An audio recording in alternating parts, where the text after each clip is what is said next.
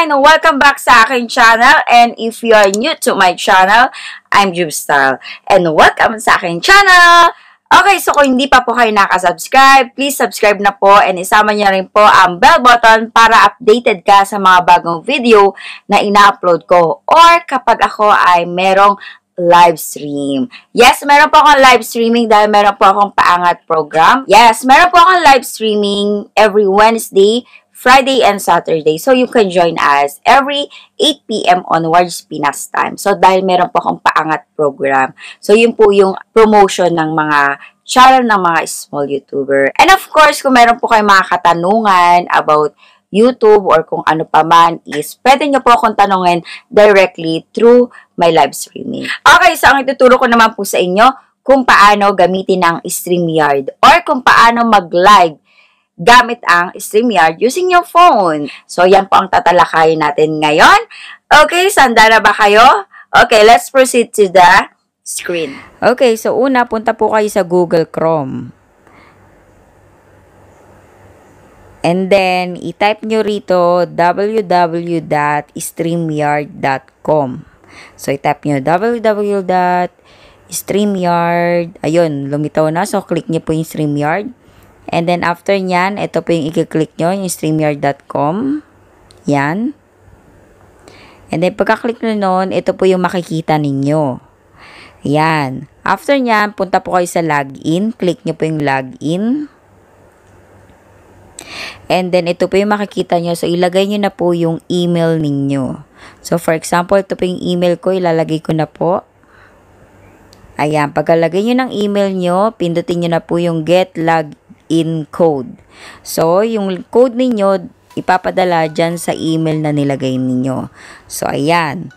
Ngayon naman, hintayin natin na dumating yung 6-digit code.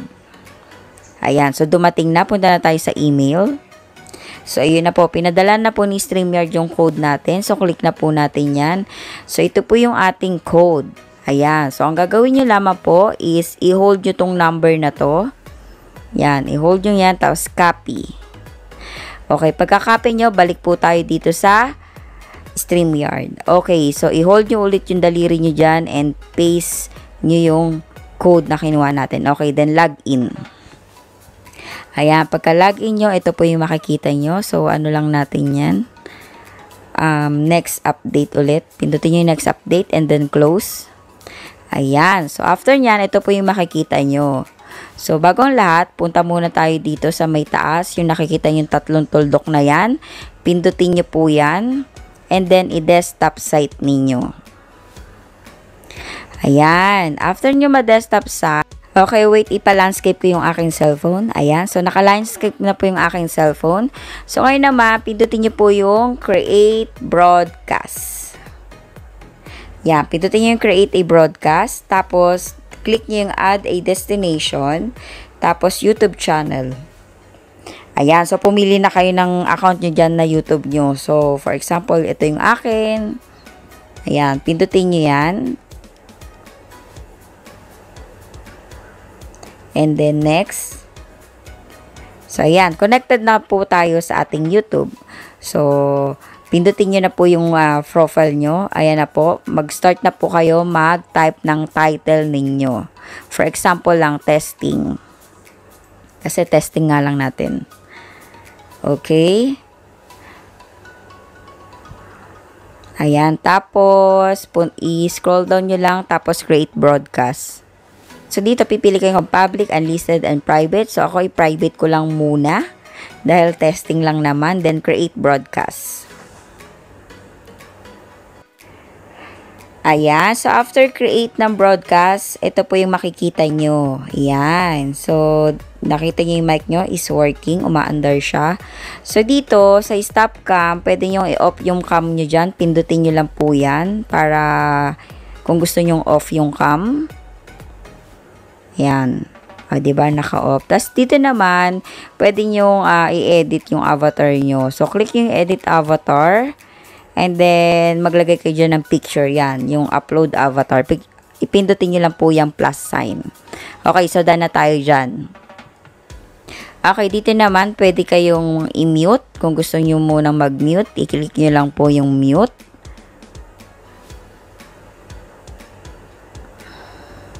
Ayan. So, kapag ganun, nakamute na kayo. Ayan. So, pindutin nyo lang kapag gusto nyo mag-mute. Okay, so mag-enter broadcast studio na po tayo. Pindutin nyo na po yung enter broadcast. And pagka-enter nyo po, ito po yung makikita ninyo. Okay, so i-on na po natin yung cam natin. Ayan. So, naka-on na po yung cam natin. Pero wala pa tayo sa may screen. So, ang gagawin nyo, itatap nyo po yung sarili nyo para lumabas yung add to stream. Ayan. Pindutin nyo po yung add to stream. Ayan, nandun ka na sa screen. Okay? Okay, so ituturo ko muna sa inyo yung dito sa may left side, kung saan saan siya gamit. Okay, mag-start tayo dito sa may mute. So, kapag gusto niyo mag-mute, pindutin niyo lamang po yung mute. Ayan, pindutin niyo po yan. Okay, nakamute ka na. Kapag ka gusto niyo naman i-off yung uh, cam niyo, pindutin niyo lang po yung stop cam. Ayan, so wala ka ng cam. Next naman dito sa may setting, cam and mic setting. So dito sa general, pindutin niyo yung general. So dito makikita niyo yung definition ng uh, magiging video niyo. So high definition is 720. So kapag gusto niyo ng full high definition na 180p is meron siyang bayad. Ayan o. Oh. So kapag ka nagbayad ka sa StreamYard, so malinaw yung ano mo, yung video mo. Ayan, so close po na muna natin yan. Okay, so ibak na po natin. Next, sa camera tayo.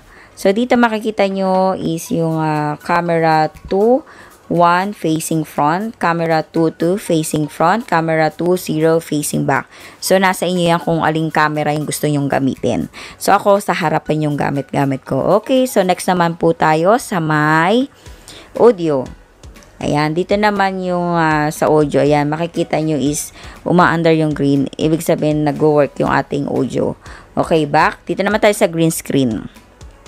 So, as you can see, dito sa may virtual background, meron siyang dalawang available. So, pwede kayo mag-add dyan ng gusto nyong background. Kaya lang dun nyo sa may, ano, sa may bayad. So, pwede pa kayong mag-upload dyan ng gusto nyo. So, for example, ayan, testing lang natin. Okay, for example, yan. And then, back natin. And then, check natin kung gagana sa cellphone. Kasi alam ko sa pang laptop lang yun eh. So, check natin. Uy, gumana. Gumana pala yung ano, green screen sa cellphone. So, pwede na pala sa ano, sa cellphone yung green screen. So, kasi alam ko is pang laptop lang. Okay, next, yung share screen pang laptop lang yan eh. So, punta na tayo dito sa invite. Kung gusto nyo makapag-invite, ayan, click nyo lang yon and then copy clipboard. So, pwede nyo isend sa Gmail, sa email, or sa messenger ng kakilala mo, yung friend na gusto mong paakyatin sa StreamYard mo. Ayan, so, for example, dito, ipipaste ko yung uh, yung link ng StreamYard kapag meron kayong gustong packetin. Ayan. So, chat nyo lang. So, ayan. Anytime na kung sino pipindot dyan, eh, pwedeng umakit dyan sa screen mo. Okay, so isi-send ko lang sa sarili ko para matesting natin. And then, pipindutin ko, okay? So, para makita nyo kung ano yung tsura kapag merong umakit sa StreamYard ninyo. Ayan, kapag umakit na yung guest ninyo, so ayan yung makikita nyo ganyan. So wala pa siya sa screen. So gagawin nyo, itatap nyo yun. And then add to stream. Ayan, so nasa taas na siya. So ganyan yung makikita nyo. Ngayon, pipili kayo ng ano dyan, ng size ng frame. So dito sa may ibaba. So pwedeng uh, ganyan. Pwedeng pa ganito, kung tatlo kayo, yung maliit yung nasa gilid, ayan. So, ganyan lang po. So, nasa inyo yan kung anong uh, size ng frame ang gusto ninyo. Okay, so next naman tayo. Tapos, pwede nyo rin i-control yung mga mic ng mga co-host mo. Ayan. And then, pwede nyo rin sila i-solo. Pindutin nyo lang to. Ayan. Pindutin nyo yan para kung gusto nyo solo lang siya. Ganyan. And then, pindutin nyo lang ulit yan kung gusto nyo i-exit. And then, ayan. Ganyan lang. Ganyan lang yung pipindutin nyo kapag gusto nyo i-solo yung co-host ninyo. So, next naman, dito naman tayo sa may uh, right side ninyo. Yung sa comment, ayan, dito nyo makikita yung mga chat ng mga viewers nyo dyan. So, dyan yung mababasa. Tapos, next naman, itong banner. Pindutin nyo po yung banner. Ayan. So, dyan naman, dyan yung, ano, yung uh, gusto nyong caption sa screen nyo. Diyan kayo mag-add. For example, welcome to my live streaming. Yan. So, mag-type lang kayo kung anong gusto nyong i-type dyan. Okay. I-add banner nyo na. Pindutin nyo yung add banner. Ayan. So, kapag gusto nyong uh, mag-appear siya sa screen nyo, i-click nyo lang po yan. Show. Ayan. So, naka-show na siya sa screen mo. So, ayun no. Welcome to my live streaming. Ayan. So, kapag gusto nyo naman yung umaandar, so, ang gagawin nyo lang po, tap nyo ulit tong welcome to my live stream, tapos edit, and then, oh, wait lang. Ayan. Ayan, tapos scroll down nyo lang, and then check nyo tong scroll across bottom ticker. Ayan, and then save. Save. Ayun. Tapos, show nyo na. Ayan. Teka, zoom natin. Ayan. As you can see, ayan na po yung umaandar. Kung gusto yung ganyan, ganun lang po yung gagawin ninyo. Okay, next, punta tayo dito sa may brand. Pindutin nyo po yung brand. Kapag pinindot nyo po yan, ito po yung makikita ninyo. So, merong brand color, team, logo. So, yung brand color, anytime pwede nyo pong palitan yan. Mamili kayo kung anong gusto nyong kulay. Ayan, pindutin nyo lang yung color. So, lalabas po yan. So, pumili na kayo ng kulay na gusto nyo. Dito naman sa team, yung minimal, ganito yung itsura. So, yung minimal po yung pinili ko. Pakikita ko sa inyo yung itsura ng minimal. So, i-zoom ko lang. I-zoom in lang natin para makita yung itsura ng minimal. So, ayan. So, konti lang yung kulay niya sa gilid. Ganyan. So, kapag ayaw nyo naman yan, gusto nyo yung default. So, ganito naman po yung sa default. Wait, zoom natin para makita nyo. Okay, zoom in lang po natin. Ayan. So, ganito po yung itsura. Ganyan. Okay, so next naman po, dito tayo sa logo. Dito, kapag ka nagbayad kayo StreamYard, pwede kayo mag-customize ng logo ninyo. So, kapag free, hindi kayo makakapag-add ng logo na gusto nyo. Ayan o. Oh. Kapag pinindot nyo yung plus, sign. So, ito po yung lalabas. Ayan. So, hindi kayo makapag-add ng customized logo nyo kapag hindi kayo bayad sa StreamYard. So, same lang din dito sa overlay and sa video clips. Ayan. And then, sa, pati na rin sa background. So, hindi kayo makapag-add kapag hindi bayad sa StreamYard. So, ayan. Kapag pinindot yung plus sign, may bayad siya. So, hindi kayo makakapag-upload kapag free. Okay? So, dito naman tayo sa mayano, sa private chat. Ayan, so pagkapindot nyo, so dito, dito kayo pwede mag, ano, mag-chat ng mga guests mo or co-host mo na hindi nakikita ng mga viewers mo. So, kayo lang mga uh, guest mo or yung co-host mo ang makakakita. For Okay, sa so ibak na po natin. So, hindi pa po naka-live yan. So, kapag i-go live nyo na po, pindutin nyo po yung go live. So, dito po yan. Ayan. I-click nyo po yan and then i-go live nyo na po. Ayan. Ayan. So, nakikita nyo is nag-red na po and may nakasulat ng live. So, ibig sabihin niya naka-live na po kayo sa YouTube. Ayan, so ganyan lang po kadali gamitin ng StreamYard kung gusto nyo mag-live using StreamYard. So ganyan lang po kadali. And kahit wala pa po kayong 1,000 subscriber, pwedeng pwede nyo po gamitin ng StreamYard para makapag-live kayo sa YouTube. And kapag i-end nyo na po, ipindutin nyo lang po ang end broadcast. Ayan, end nyo na. So ayan, ended na. So ayan, makikita nyo, ended. So okay na end na po yung live nyo yan. And then, i-return to dashboard nyo na lang. Ayan, pindutin nyo return to dashboard. And then, ayan na. And then, pagdating naman sa ano, sa gusto nyo magbayad uh, sa StreamYard, punta lang po kayo sa My Account. Ayan, click nyo lang yung ac My Account. And then, punta kayo sa billing.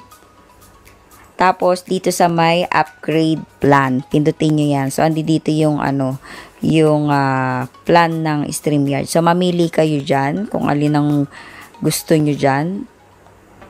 Ayan, ayan po yung presyo, yung basic and yung professional. Tapos, kapag ila-log out nyo, punta lang sa my account and then ayun yung log out. So, ayan, that's it. So, ayun lang mga ka-sunshine, ganyan lang po kadali gamitin ang StreamYard. So, kahit wala pa po kayong 1,000 subscribers, makakapag-live kayo using StreamYard. Tapos, makakapag-invite pa kayo ng mga friends nyo o ganyan. So, kaya okay na okay gamitin ang StreamYard. Okay, so bago po ako magpaalam, gusto ko po kayong imbitahan sa mga gusto maging one of my members. Ayan, you can click the join button and pili lang po kayo din ng perks na gusto nyo. Ayan. And of course, meron din po akong live every Wednesday, Friday, and Saturday, 8pm Pinas time. So, you can join us sa mga gustong magpa-promote ng inyong mga channel o kung gusto makapag gain ng subscribers. Ayan, so I hope na meron kayong natutunan ngayong araw na ito. Kung oo, bigyan nyo ako ng like. And syempre, kung hindi pa po kayo nakasubscribe, subscribe ka na dahil dito sa channel ko, marami kang matututunan. And of course, huwag kalimutan ang bell button para lagi kang updated sa mga bagong video na ina-upload ko. And kapag meron akong live streaming. Ayan. So, ayun lamang po. Maraming maraming salamat po sa panonood. And magkita-kita tayong muli sa susunod na video ko. Bye!